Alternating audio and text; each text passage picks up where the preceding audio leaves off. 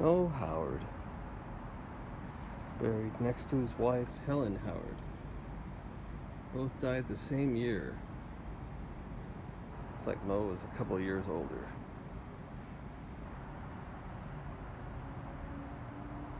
Despite being the ornery one of the bunch on camera, Moe uh, was incredibly empathetic to people in real life, and he was a very good person.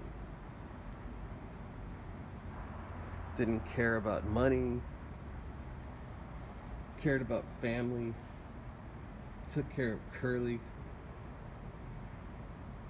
When Curly was in a mental hospital towards the end of his life, well, they wanted to, uh, they wanted to commit him, and Moe said absolutely not stop to it.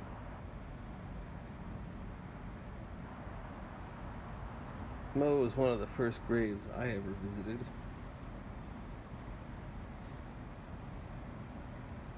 I thought, you know, I'd like to go visit Moe's grave. And the Find a Grave GPS is surprisingly accurate. So if you ever did want to visit Moe, this is how you get there. So we're at Moe's grave here. I'm going to pan around.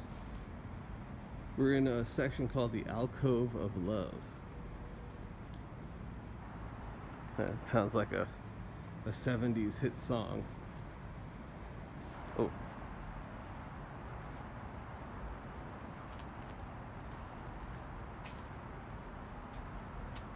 I love you, Moe.